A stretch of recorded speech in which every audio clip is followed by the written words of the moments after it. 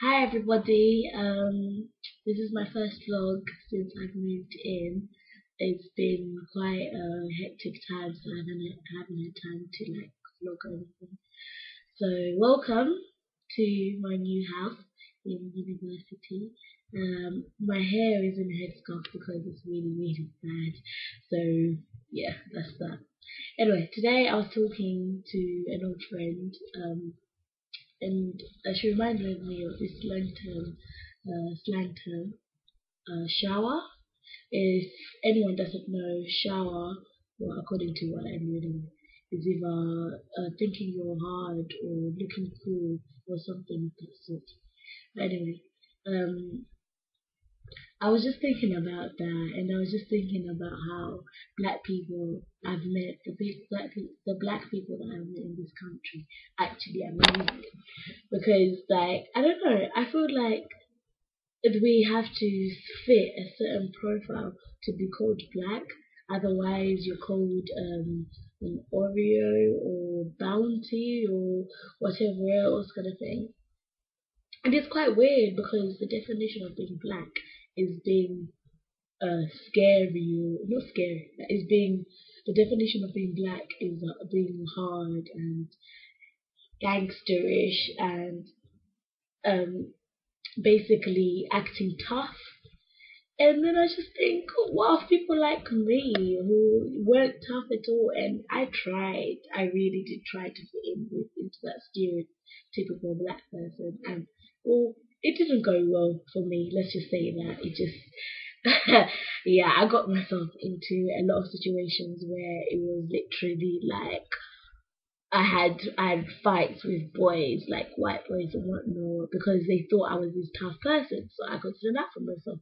But I, it was actually hurting me, like uh, why should they pick on me just because I'm black? Then I realized that it's a representation of who I thought I was, that they were fighting against.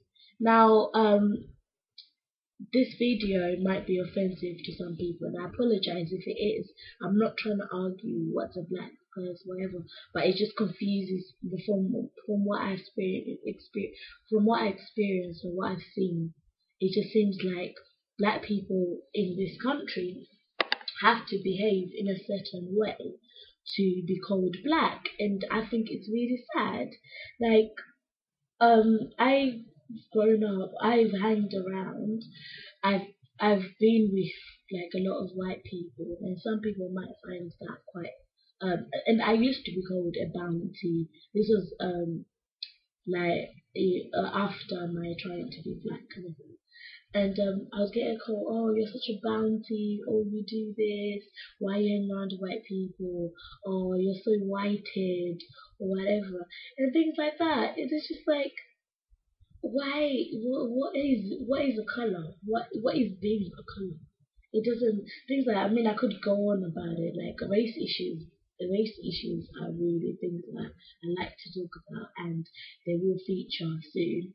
But I just want to talk about things that make me laugh, like slang terms. I mean, seriously, it's like taking, um, forgive me if I get this wrong, uh, patois and um, those kind of Caribbean uh, languages, which are pro- there's the way they speak, turning them into some sort of London uh, cool thing and then expecting everyone that's black to be talking. I mean, I would get people that um uh are not black um coming up to me and expecting them to talk slang, and I'd be like, um, I don't necessarily speak slang. Half the time, I had to try and you know, catch up with my cousin to find out what does this mean and whatnot, so I don't look stupid.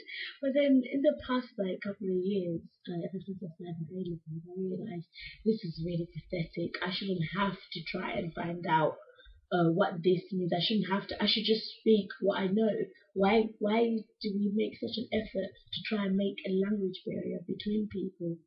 But um, I guess that could go on for ages. But anyway, I digress a lot, so yeah, I've just jumped from one topic to another. Feel free to ask me any questions, but please share, comment, um, and subscribe to my vlogs. Thank you.